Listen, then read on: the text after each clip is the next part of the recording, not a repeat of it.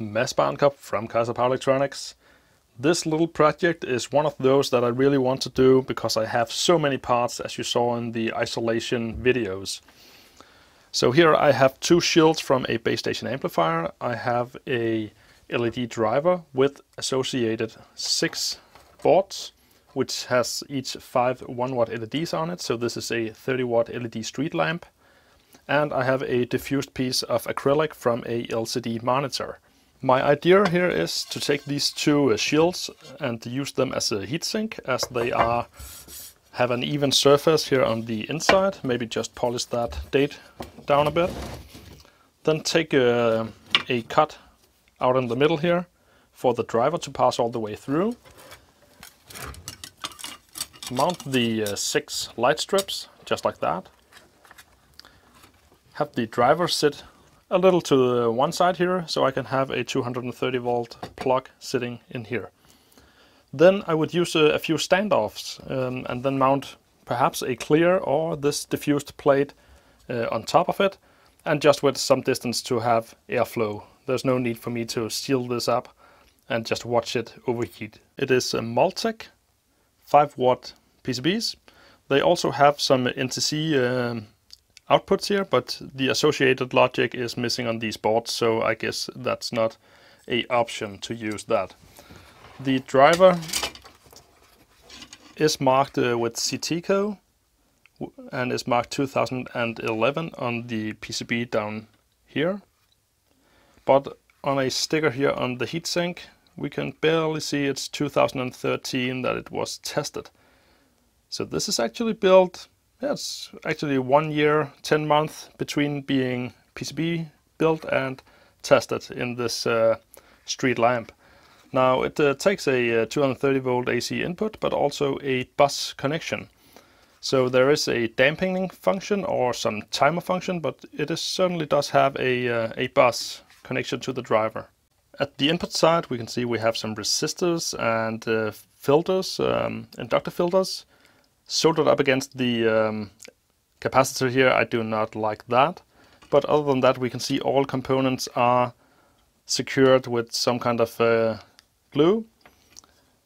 We have even decoupling capacitors sitting across the large electrolytic capacitors and the ferrite transformer here is actually plenty big for a 30 watt driver so this is a quality build.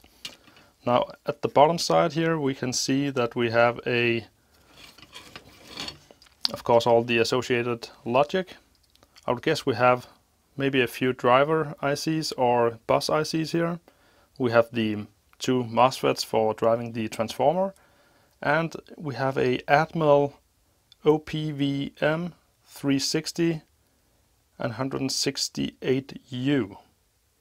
So I guess this is some kind of specialized Atmel microcontroller that is made for a PWM controller with some programmable memory for making your own program or bus interface. It is also formally coated, as we can see, it's all reflecting the light. So a, a good high quality uh, LED driver made for outside installations in a street lamp.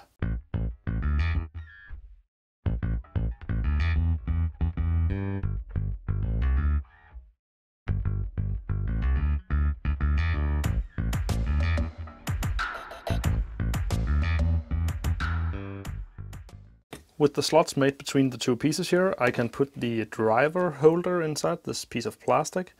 I'll just use this as this is a good way of just keeping it isolated from any metal parts.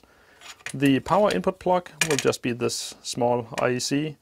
It can also just barely uh, sit with its two screws here in the side. Then I also found some of these uh, small brackets that I saved from things I took apart. And I will use these at these uh, three points to keep the two parts together and then a piece of acrylic coming on top of it all will give uh, the whole chassis some more stiffness by tightening it out in the sides. Uh, probably also will make uh, some standoffs on the back side for the two here in the middle uh, to make some kind of uh, yeah mounting bar on the back of it so I can actually put it on a flexible arm or something like that. The 230 volt AC plug is installed, the driver is in place. I drilled uh, some few extra holes in the metal parts to run some grounding wire on to keep everything grounded in order if we have a loose phase we will get a short circuit to ground in order for the RCD in the mains distribution panel to trip or the breaker to trip. Uh, I will add some uh, shrimp flags to the connections there. I'll have to extend some of the uh, original red and black wires here on the LED strips in order for them to be wide enough from each other. So let's get all this put together.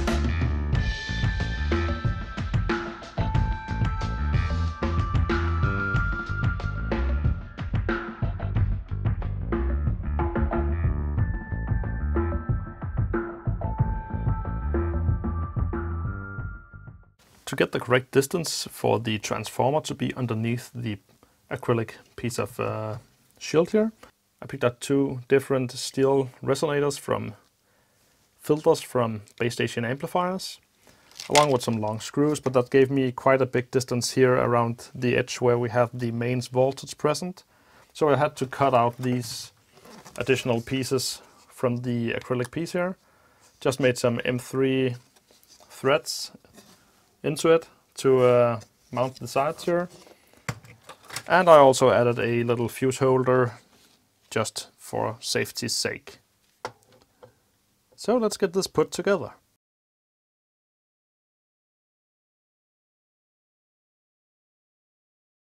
For a mass up of a LCD screen, base station amplifiers and a street lamp, I would say that the result is pretty good all handmade. Did not really use much uh, power tools except my drill press, mostly done by a battery drill and a handsaw, hacksaw, files.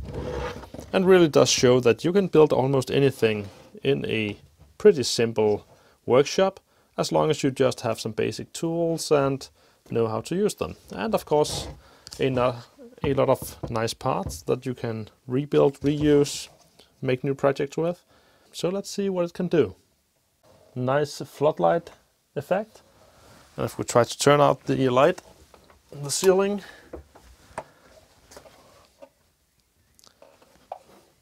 I would say it uh, does a pretty decent job.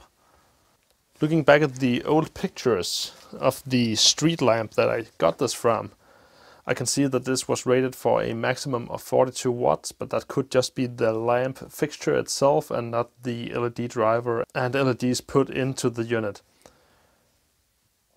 But I will finish this video off with the pictures of that street lamp that I found and until next time, see ya.